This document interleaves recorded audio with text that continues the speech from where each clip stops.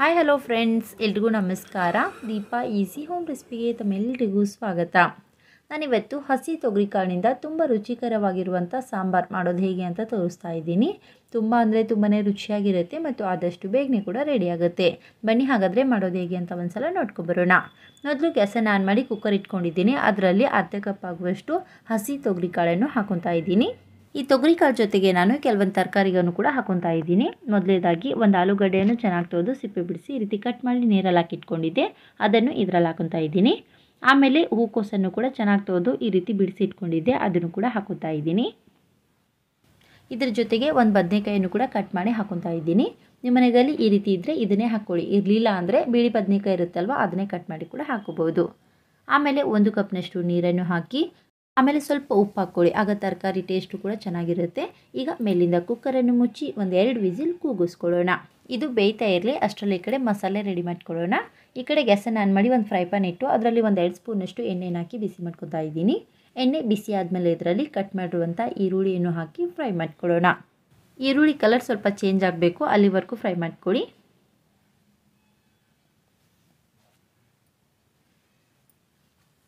ನೋಡಿ ಈರುಳ್ಳಿ ಕಲರ್ ಈ ರೀತಿ ಲೈಟಾಗಿ ಚೇಂಜ್ ಆದಮೇಲೆ ಇದರಲ್ಲಿ ನಾನು ಒಂದು ನಾಲ್ಕು ಹೆಸರು ಬೆಳ್ಳುಳ್ಳಿ ಹಾಕ್ಕೊತಾ ಇದ್ದೀನಿ. ಈಗ ಇದನ್ನು ಕೂಡ ಸ್ವಲ್ಪ ಫ್ರೈ ಮಾಡ್ಕೊಳ್ಳೋಣ. ನೋಡಿ ಬೆಳ್ಳುಳ್ಳಿಯನ್ನು ಕೂಡ ಸ್ವಲ್ಪ ಫ್ರೈ ಮಾಡ್ಕೊಂಡ್ಮೇಲೆ ಇದರಲ್ಲಿ ನಾನು ಒಂದು ಮೀಡಿಯಮ್ ಸೈಜ್ ಟೊಮೆಟೊನ ಈ ರೀತಿ ಕಟ್ ಮಾಡಿ ಹಾಕ್ಕೊತಾ ಇದ್ದೀನಿ. ಈಗ ಇದನ್ನು ಕೂಡ ಸ್ವಲ್ಪ ಸಾಫ್ಟ್ ಆಗೋವರೆಗೂ ಫ್ರೈ ಮಾಡ್ಕೊಳ್ಳೋಣ.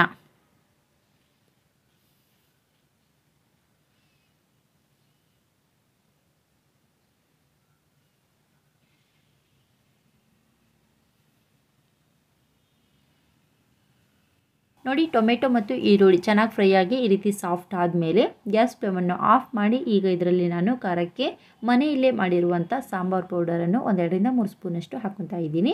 ನಿಮ್ಮ ಖಾರಕ್ಕೆ ಎಷ್ಟು ಬೇಕೋ ಅಷ್ಟು ನೋಡಿಕೊಂಡು ಹಾಕ್ಕೊಳ್ಳಿ. ಆಮೇಲೆ ಸ್ವಲ್ಪ ಕೊತ್ತಂಬರಿ ಸೊಪ್ಪನ್ನು ಕೂಡ ಹಾಕಿ ಚೆನ್ನಾಗಿ ಮಿಕ್ಸ್ ಮಾಡಿಕೊಡೋಣ ಪಾತ್ರೆ ಬಿಸಿ ಇರುತ್ತಲ್ವ, ಅದರಲ್ಲೇ ಸ್ವಲ್ಪ ಫ್ರೈ ಆಗುತ್ತೆ. ಹಾಗಾಗಿ ಗ್ಯಾಸ್ ಫ್ಲೇಮನ್ನು ಆಫ್ ಮಾಡಿದ್ಮೇಲೆ ಈ ರೀತಿ ಸಾಂಬಾರು ಪೌಡರ್ ಮತ್ತು ಕೊತ್ತಂಬರಿ ಸೊಪ್ಪನ್ನು ಹಾಕಿ ಮಿಕ್ಸ್ ಮಾಡ್ಕೊಳ್ಳಿ. ನಿಮ್ಮನೆಗಲ್ಲಿ ಸಾಂಬಾರು ಪೌಡರ್ ಇರಲಿಲ್ಲ ಅಂದರೆ ಅದ್ರ ಬದಲಾಗಿ ನೀವು ಅಚ್ಕಾರದ ಪುಡಿ ಮತ್ತು ಧನಿಯಾ ಪುಡಿ ಹಾಕಿ ಕೂಡ ಮಾಡ್ಕೋಬೋದು. ಚೆನ್ನಾಗಾಗುತ್ತೆ. ನೋಡಿ, ಈ ರೀತಿ ಚೆನ್ನಾಗಿ ಮಿಕ್ಸ್ ಮಾಡಿದ್ಮೇಲೆ ತನಗಾಗ್ಲಿಕ್ಕೆ ಬಿಡೋಣ. ಪೂರ್ತಿಯಾಗಿ ತನ್ಗಾದ್ಮೇಲೆ ಇದನ್ನು ಗ್ರೈಂಡ್ ಮಾಡ್ಕೋಬೇಕು. ಹಾಗಾಗಿ ಮಿಕ್ಸಿ ಜಾರ್ ತೊಗೊಂಡಿದ್ದೀನಿ. ಅದರಲ್ಲಿ ನಾನು ತನಗಾಗಿರುವಂಥ ಮಸಾಲೆಯನ್ನು ಹಾಕೊತಾ ಇದ್ದೀನಿ. ನೋಡಿ, ಈ ರೀತಿ ಫ್ರೈ ಮಾಡಿರುವಂಥ ಎಲ್ಲ ಮಸಾಲೆಯನ್ನು ಮಿಕ್ಸಿ ಜಾರ್ನಲ್ಲಿ ಹಾಕಿದ್ಮೇಲೆ ಆಮೇಲೆ ಇದರಲ್ಲಿ ನಾನು ಒಂದು ಕಪ್ನಷ್ಟು ಫ್ರೆಶ್ ಆಗಿರುವಂಥ ತೆಂಗಿನಕಾಯಿ ತುರಿಯನ್ನು ಹಾಕೊತಾ ಇದ್ದೀನಿ. ಆಮೇಲೆ ಒಂದು ಅರ್ಧ ಇಂಚಿನಷ್ಟು ಶುಂಠಿಯನ್ನು ಕೂಡ ಕಟ್ ಮಾಡಿ ಹಾಕೊತಾ ಇದ್ದೀನಿ. ಆಮೇಲೆ ರುಬ್ಲಿಕ್ಕೆ ಎಷ್ಟು ಬೇಕೋ ಅಷ್ಟು ನೀರನ್ನು ಹಾಕಿ ಸ್ಮೂತಾಗಿ ರುಬ್ಕೊಂಬರೋಣ. ನೋಡಿ, ಈ ರೀತಿ ಸ್ಮೂತಾಗಿ ರುಬ್ಕೊಂಡಿದ್ದೀನಿ. ತುಂಬ ಚೆನ್ನಾಗಿ ರೆಡಿಯಾಗಿದೆ ಈಗ ಈ ಮಸಾಲೆಯನ್ನು ಉಪಯೋಗಿಸಿ ಸಾಂಬಾರು ಮಾಡೋದು ಹೇಗೆ ಅಂತ ನೋಡ್ಕೊಳ್ಳೋಣ. ಈ ಕಡೆ ಎರಡು ವಿಜಿಲ್ ಕೂಗಿದ್ಮೇಲೆ ಗ್ಯಾಸ್ ಫ್ಲೇಮನ್ನು ಆಫ್ ಮಾಡಿ ಕುಕ್ಕರ್ ತನ್ಗಾಗ್ಲಿಕ್ಕೆ ಬಿಟ್ಟಿದ್ದೆ ಕುಕ್ಕರ್ ತನ್ಗಾದ್ಮೇಲೆ ಲಿಡ್ ಓಪನ್ ಮಾಡ್ಕೊತಾ ಇದ್ದೀನಿ. ಕಾಣಿಸ್ತಾ ಇರ್ಬೋದು ನಿಮಗೆ ಇಲ್ಲಿ ತರಕಾರಿ ಎಲ್ಲ ಚೆನ್ನಾಗಿ ಬೆಂದು ರೆಡಿಯಾಗಿವೆ. ಈಗ ಮತ್ತೆ ನಾವು ಗ್ಯಾಸನ್ನು ಆನ್ ಮಾಡಿ ಈಗ ಇದರಲ್ಲಿ ಮುಂಚೆನೇ ರುಬ್ಬಿಟ್ಕೊಂಡಿರುವಂಥ ಮಸಾಲೆಯನ್ನು ಸೇರಿಸ್ಕೊಡೋಣ ಈಗ ಈ ಮಸಾಲೆ ತರಕಾರಿ ಜೊತೆ ಚೆನ್ನಾಗಿ ಹೊಂದ್ಕೋಬೇಕು. ಆ ರೀತಿ ಮಿಕ್ಸ್ ಮಾಡ್ಕೊಳ್ಳಿ.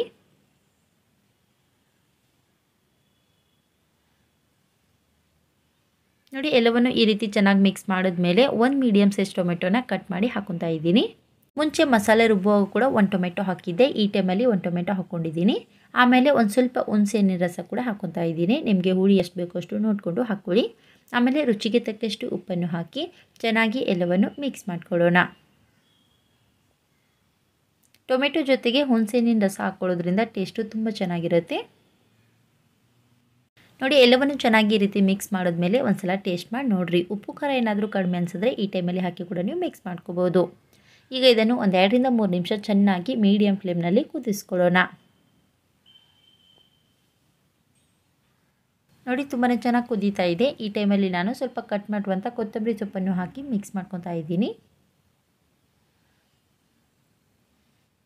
ನೋಡಿ, ಸಾಂಬಾರು ತುಂಬಾ ಚೆನ್ನಾಗಿ ಕುದ್ದು ರೆಡಿಯಾಗಿದೆ. ಈಗ ಇದಕ್ಕೆ ಒಗ್ಗರಣೆ ಮಾಡ್ಕೋಬೇಕು. ಹಾಗಾಗಿ ಗ್ಯಾಸನ್ನು ಲೋ ಫ್ಲೇಮಲ್ಲಿಟ್ಟು ಇನ್ನು ಸ್ವಲ್ಪ ಕುದಿಲಿಕ್ಕೆ ಬಿಡೋಣ. ಅಷ್ಟರಲ್ಲಿ ಈ ಕಡೆ ಒಗ್ಗರಣೆ ಮಾಡೋದು ಹೇಗೆ ಅಂತ ನೋಡ್ಕೊಳ್ಳೋಣ. ಈ ಕಡೆ ಗ್ಯಾಸನ್ನು ಆನ್ ಮಾಡಿ ಒಂದು ಚಿಕ್ಕ ಕಡೆ ಇಟ್ಕೊಂಡಿದ್ದೀನಿ. ಅದರಲ್ಲಿ ಒಂದು ಎರಡು ಸ್ಪೂನಷ್ಟು ಎಣ್ಣೆನ ಹಾಕಿ ಬಿಸಿ ಮಾಡ್ಕೊಳ್ಳೋಣ. ಎಣ್ಣೆ ಬಿಸಿ ಆದಮೇಲೆ ಇದರಲ್ಲಿ ಒಂದು ಅರ್ಧ ಸ್ಪೂನಷ್ಟು ಸಾಸಿವೆ ಮತ್ತು ಒಂದು ಅರ್ಧ ಸ್ಪೂನಷ್ಟು ಜೀರಿಗೆಯನ್ನು ಹಾಕಿ ಸೀಳಿಸ್ಕೊಳ್ಳೋಣ. ನೋಡಿ, ಸಾಸಿವೆ ಮತ್ತು ಜೀರಿಗೆ ಈ ರೀತಿ ಚಟಪಟ ಅಂತ ಸಿಡಿದ ಮೇಲೆ ಇದರಲ್ಲಿ ಸ್ವಲ್ಪ ಕರಿಬೇವಿನ ಎಲೆ ಮತ್ತು ಒಂದು ಒಣಮೆಣ್ಸಿನ್ಕಾಯನ್ನು ಹಾಕಿ ಫ್ರೈ ಮಾಡ್ಕೊತಾ ಇದ್ದೀನಿ. ನೋಡಿ, ಈ ರೀತಿ ಚೆನ್ನಾಗಿ ಫ್ರೈ ಆದಮೇಲೆ ಗ್ಯಾಸ್ ಫ್ಲೇಮನ್ನು ಆಫ್ ಮಾಡಿ ಇಮಿಡಿಯೇಟಾಗಿ ಈ ಒಗ್ಗರಣೆಯನ್ನು ಕುದೀತಾ ಇರುವಂಥ ಸಾಂಬಾರ್ನಲ್ಲಿ ಹಾಕಿ ಚೆನ್ನಾಗಿ ಒಂದ್ಸಲ ಮಿಕ್ಸ್ ಮಾಡ್ಕೊಳ್ಳೋಣ.